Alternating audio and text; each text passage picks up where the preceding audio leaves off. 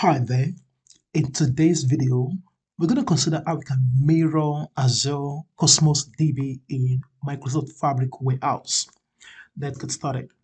In the previous video, I covered how we can mirror Snowflake.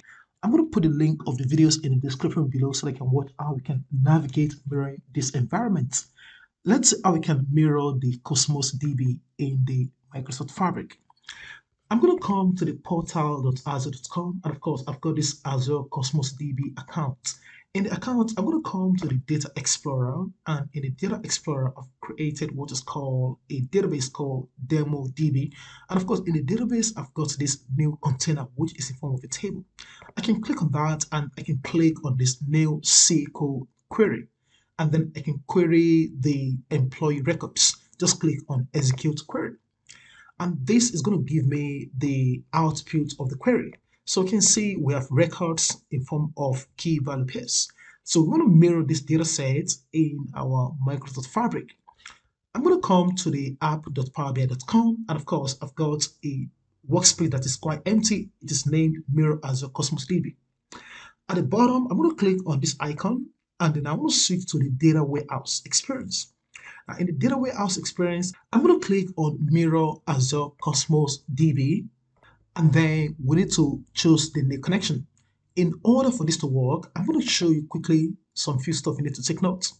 I'm going to come to settings. Now, in the settings, we need to ensure that some things are set right. First, I'm going to come to networking. Now, make sure your public access allows all network in order for this to work. And then I'm going to come to the point in time restore. Now in the restore, I'm going to come to the backup policy. Now make sure your backup policy is set to continuous 30 days or 7 days. And then once this is set, and then click on see this is really required for this mirroring to work. After that is sorted, I'm going to come to the Fabric portal and then I can click on new connection. Now we need to give the URL for our Cosmos DB endpoint. So I'm going to come to the portal and I'm going to scroll up and go to the overview.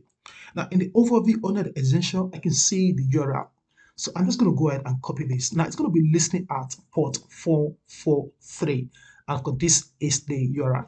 So I'm going to go ahead and copy and paste it. So as soon as that is pasted, I can give, let me just go back and I can change that. Now I can give a meaningful name. Let's just call it um, mirror my data. And then for the authentication kind, it's going to be account key. And for the account key, again, I'm going to come back to my Azure Cosmos DB account and I'm going to scroll down. Now, I want to go to under the settings, go to the keys, click on the keys, and then we can see the URL. And of course, we can really see the read write keys. So we have the primary and the secondary key. I'm going to copy the primary key and then go back to my new connection and Ctrl V to paste. And that's all we need to do for now. Click next. And then we're going to see the connection settings where we can specify the name of our database. Now, don't forget, I'm going to go up quickly and show you the database we want to connect to. I'm going to come to the Data Explorer.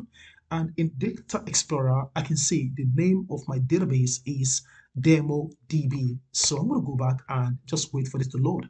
So that is loaded. Click on this chevron and then you can see the demo DB.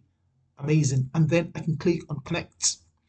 And then we're going to be able to choose the data that we want to mirror. Of course, we can automatically mirror future data or tables that is coming into the database that we just mirrored.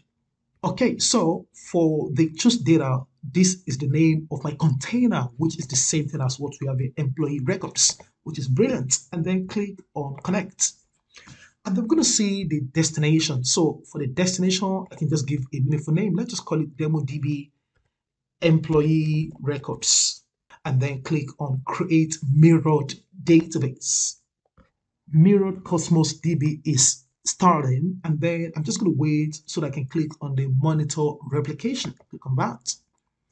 And then we can see that it's actually running. The status is running and then we can see the source and we can see the source database and the destination is going to be in our OneLake. So unfortunately, I'm not going to see any number of um, the name of the table, the status, the rows replicated, last completed, but I know this is actually working. So I'm just going to wait for maybe um, one minute or less, and then I'm going to cancel or close this tab. So it's been mirrored anyway. So at the top right hand corner, I can click on this mirrored Cosmos DB and I want to switch to the SQL analytics endpoint. Click on that. There we go. So we have the data and we can go ahead and query data set, which is quite brilliant. So we can see the tables, demo, DB, employee records. And of course, we can see all our columns. So we can see the original column like the ID, the last name, the first name, the gender, date of hire, and so on and so forth.